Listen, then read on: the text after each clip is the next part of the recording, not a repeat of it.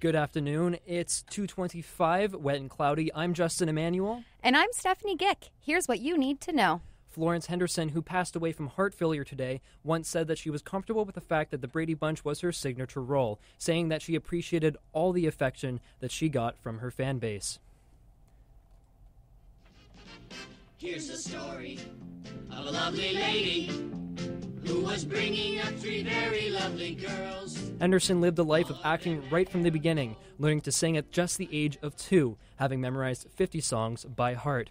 At eight, she was already singing in public to anyone who would listen, starting in local grocery stores and eventually making money from music establishments by 16. Throughout her whole life, she was known to have a warm and welcoming personality, working well with others, other cast members throughout her career.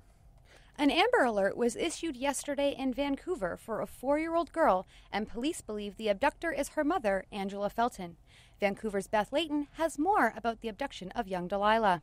We don't believe that Angela has the capability of taking care of Delilah. Vancouver Acting Sergeant Brian Montague says 46 year old Angela Hanley has never had custody of Delilah, and there's concern because she lacks the home, car, cell phone, or skills to look after the little girl. Police doubt the two have left Metro Vancouver, and Montague urges Hanley's friends to help find her or for Hanley to drop her off safely. He says the public can help too. We'll look at these photos and ensure that Delilah gets home safely. Both Hanley and Felton have red hair and are likely using public transport, and four foot tall Felton was last seen wearing a colorful, mostly red rain jacket. Beth Layton, The Canadian Press, Vancouver.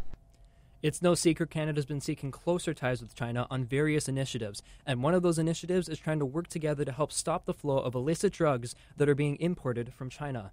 However, when it comes to fentanyl, a drug similar to heroin, only much more deadly, what Canada considers a public health crisis, China may not see the same way. Fentanyl is not on China's list of controlled substances.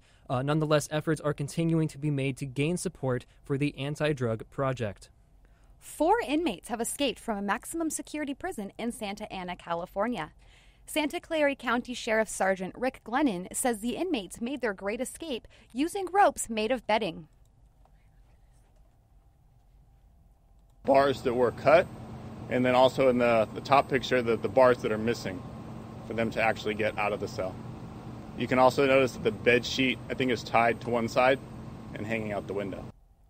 Two of the inmates were captured just outside the prison, while two remain on the run.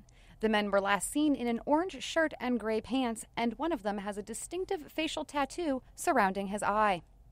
A former University of Waterloo vice president has been charged with fraud. 63 year old Kenneth McGillivray is accused of taking a number of personal uh, trips under false pretenses while serving as the university's vice president. The alleged frauds took place over a two year period and included expense claims to the university for reimbursements worth more than $12,000. McGillivray was arrested at, by Waterloo Regional Police in Kitchener on Monday while, uh, when the Toronto resident turned himself in in the Central Division. He is charged with fraud over $5,000, forgery, uttering forged documents, and criminal breach of trust. He is to appear in court next month. Ontario's Energy Minister Glenn Thibeault choked up Tuesday while saying that it has been difficult to explain to his nine year old daughter that he is not a bad man.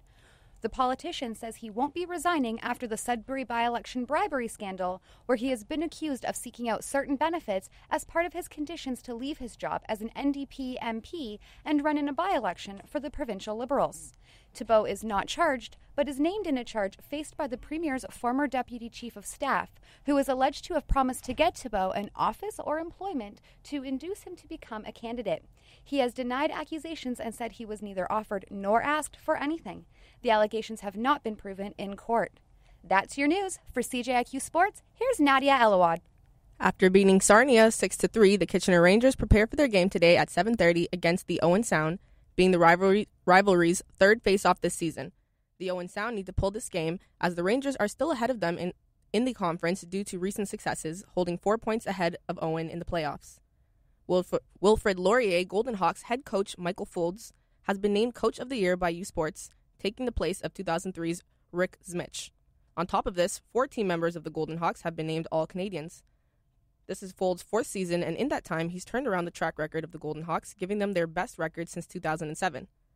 The Vancouver Canucks have extended Ben Hutton's c- contract for another two years. The extension is worth over $5.5 million. The defenseman made his debut uh, in, the NH- in, the, in the NHL and the and was the Canucks' leading scorer among defensemen last season, scoring 25 points. It is 220 it is 2:30 and now a look at CJIQ weather. Cloudy today with sunny breaks and a 40% chance of showers, high of 5 degrees. For tonight, clouds are going to continue with a 60% chance of showers that could turn into light snow. The overnight low is plus 2. For tomorrow, a mix of sun and clouds with a 40, 40% chance of showers and a high of 5 degrees. We've reached our daytime high and are sitting at 5 degrees. For CJIQ, I'm Nadia Elawad. Here's a look at CJIQ Entertainment. Enter the Animus. His name is Callum Lynch. We've traced his bloodline back 500 years.